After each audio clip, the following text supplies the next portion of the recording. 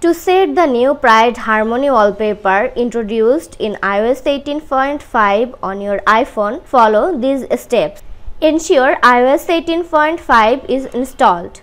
Navigate to Settings, then General, select Software Update. If an update is available, tap Download and install it. Now open the Settings app tap wallpaper. Select add new wallpaper. Scroll down to the pride section.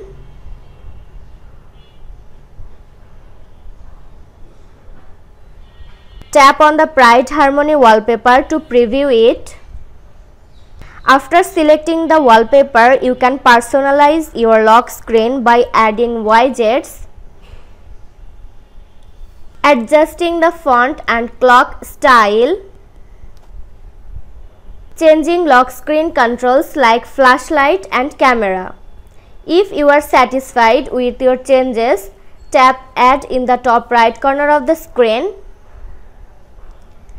Choose whether to set it as wallpaper pair both lock screen and home screen or customize the home screen separately.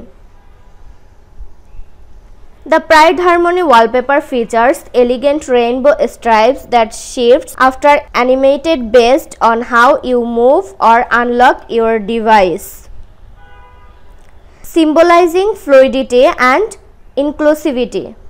This was today's video. Hope you like and enjoy the video. Do like, comment, share and also subscribe to Apple Info YouTube channel. Thanks for watching.